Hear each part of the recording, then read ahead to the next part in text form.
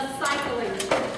She's the author of Cycling, Wine, and Men, a midlife tour de France, a book that's been called The Next Eat, Pray, Love. Since its release in February 2011, the book has achieved bestseller status on Amazon.com. Nancy is an award-winning speaker, author, show host, and has her MBA.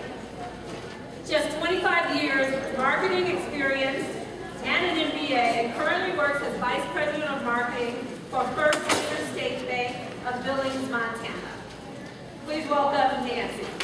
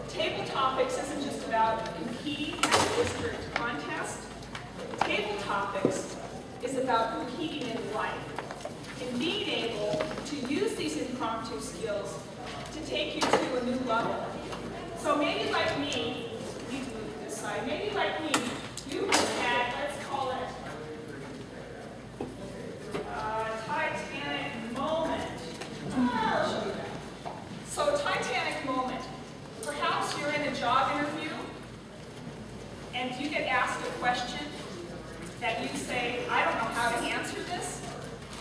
You have that experience? Anybody? How about when you're really angry with a spouse or a boyfriend or a girlfriend? And they say, why are you, why are you so mad? And you just want to spout off the first thing that comes into your brain. But that's not a good table topic moment either. That's a Titanic moment. Thank you very much. So how do we get from this place where we may not know the answer to being able to be quick on our feet? So you know my story at the district competition. And I have to tell you, and I'll tell you how I, I did this, but I actually came home with the first place trophy, even though I didn't have the answer to the question.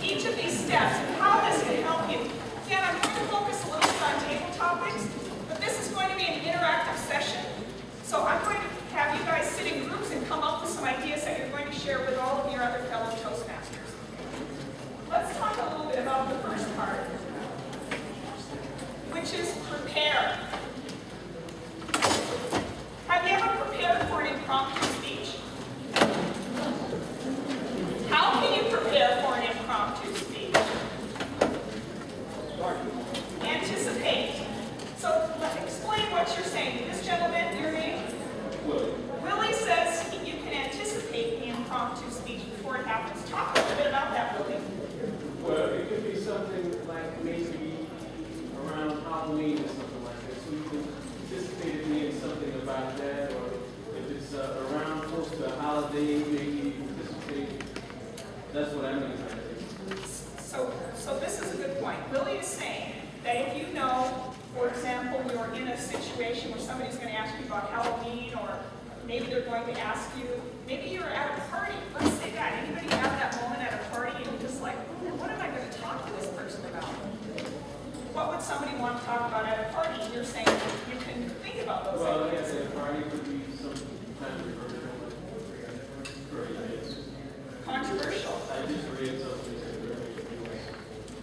Because I know the person. And I know the person who's, you know, what talk about, so I that person about this. That's excellent. That's an excellent point. So think about that. You can prepare. How do you prepare? By anticipating. So when you put your hands on your head again, that's the prepare. That's the. Uh, I'm sorry. That's the prepare stage. He's knocking his head over back there. He distracted me for a second. He's like, this, "Come on, get in there." I'm going to prepare. That's the point where you start asking yourself, what are all the possibilities that that could be asked of me in this situation? Sometimes you an- can anticipate that you will be in an impromptu situation. So what are those situations? We talked about Toastmasters at table topics.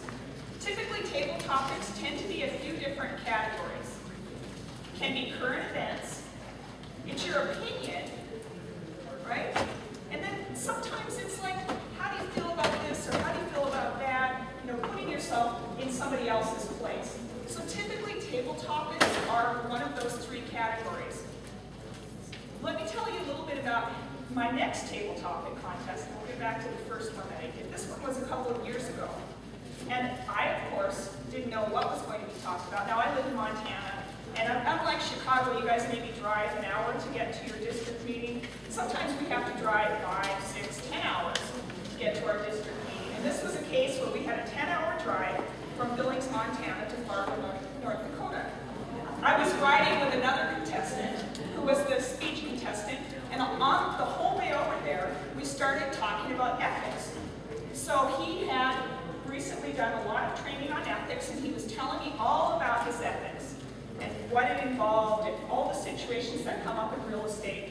So it was just a very interesting conversation. I had no idea that I would use that for table topics.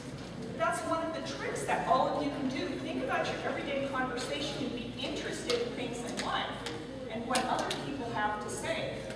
So I'm driving along to Fargo, hearing all about ethics, and my question was really kind of a crazy. Sometimes these district questions are kind of crazy, aren't they? Just say, what the heck? Where did this one come up with? So the question was, you just ran over your neighbor's cat. An animal you did not like. What do you do? So, I stopped for a moment and paused, and then I thought, ethics. And so I had the perfect answer, because it was an ethical dilemma. What do I do? Do I not tell her and say, well, sorry, Fluffy. I don't know what happened. He shut at my door, maybe somebody hit him. So that was, that was what I came back to. If you think about how you can prepare, let's take this a little bit broader than just table topics. So job interviews. What would be some things you could prepare for a job interview? Some questions that might be asked. Yes? Tell me about yourself. So like the little elevator pitch. That's a great one. Oh, where do you see ever where do you see yourself in five years? The one I, I've always liked as well, having your job. That doesn't In the What back. your five strengths and five weaknesses? I'm sorry. Your five strengths and your five weaknesses. Five strengths and five weaknesses. Yes. What made you decide to apply for this position? Okay, awesome. What made you decide to apply for a position? We got another one here. Why, or why did you leave your company, or why aren't Why are you going to leave your company? Why should we hire you? Why should we hire you anyway?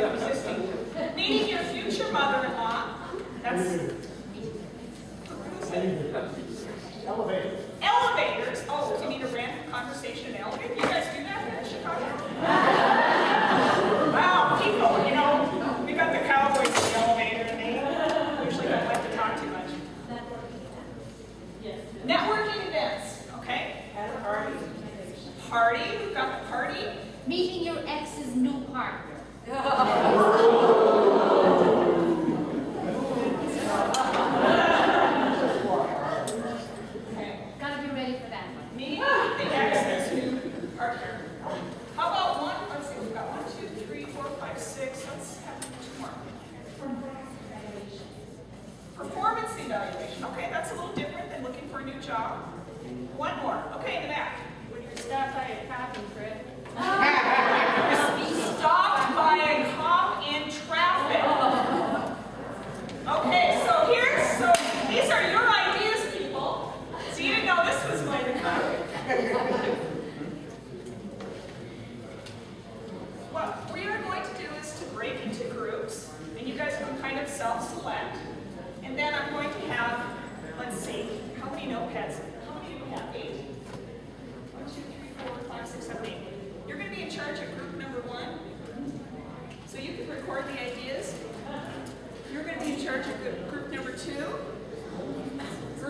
three,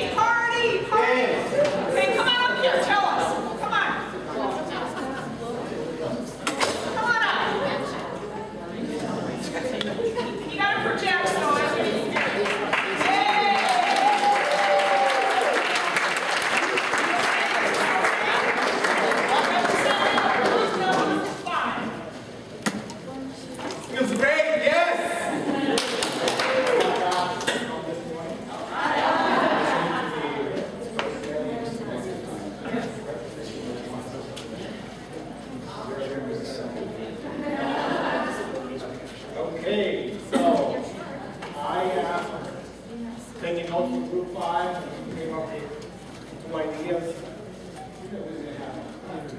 However, we have to keep this on track, right? So, um, the first question is, you're at a party and you don't know the persons, you don't know anybody in the party, you ask, what do you think of the royal wedding? That's an open-ended question. Have you seen the royal wedding? What do you think? Huh?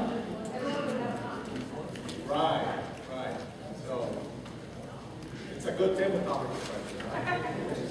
Huh? Now, second question that can be a table topic question is, how do you know the host? Right. So what if somebody asked you that? How, what would your response be? Would you prepare for that too?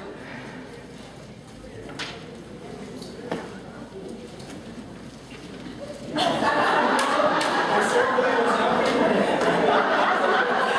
He had that Titanic moment. All right, thank you, Jose. Let's bring it- let's bring out the future mother-in-law.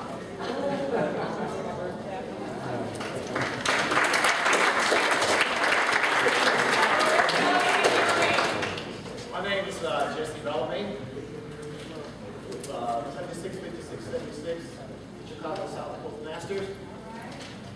And uh, my topic is uh, meeting future mother-in-law, I guess how we deal with each other.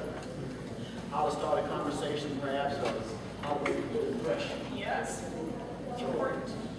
So if you are a future uh, spouse, you, you would want to um, say something complimentary. Make an observation. Say something complimentary to the mother-in-law. Who likes that idea? Yeah!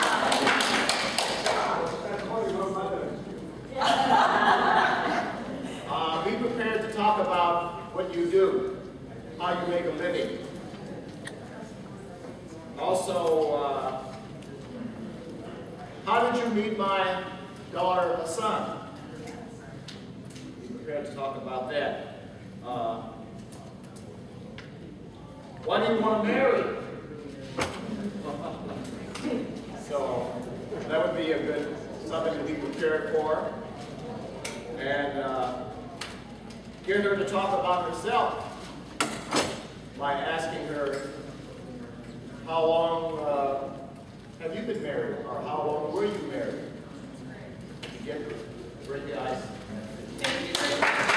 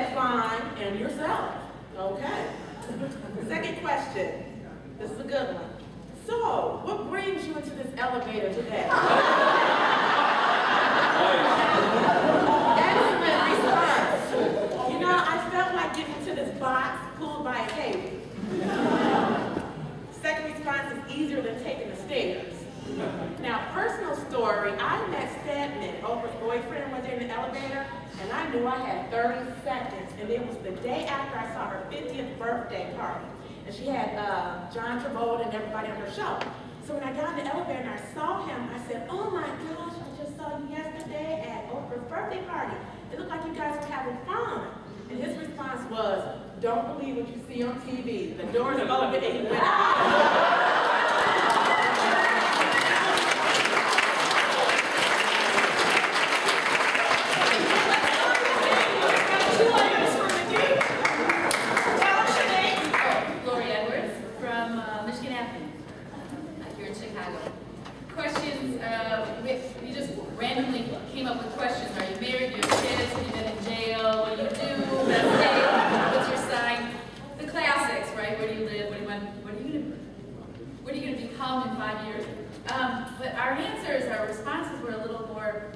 Sure you expound on it, don't just give them one line answer, one word answers.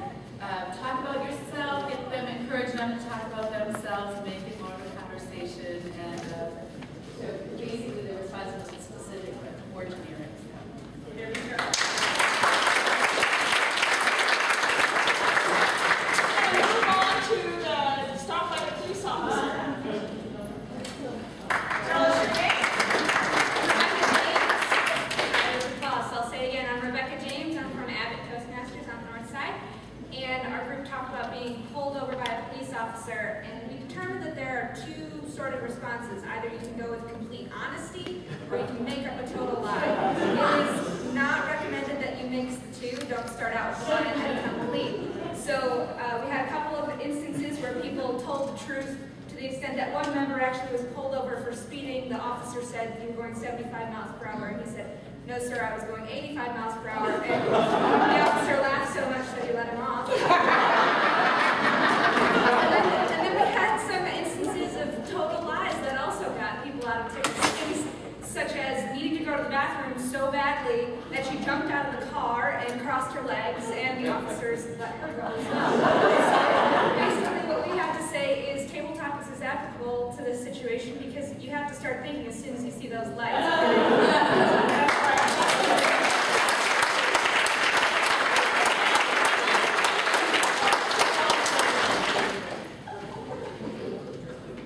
Whose performance? Need to, okay, let's, let's just stay there, just tell us one. We need to kind of wrap up here. Hi, my name is Chris Costagas, I'm with Axie Masters in Downers Grove. One of the questions we came up with our accident performance uh, review is what are your goals for the next year? Thinking about long term, thinking about short term. Um, Do you have a game plan to achieve your goals? And um, what is, what is your time frame? What kind of answer do you give? If that's the question. Awesome, thank you so much. So, I'm trying to look at short, so everyone isn't going to participate. I hope this was helpful for you to think about how you can use table topics, not just in Toastmasters, but also in your work life, in relationships, at parties, even in elevators when Stedman appears. So just to let you know how my table topic went off, remember the Titanic?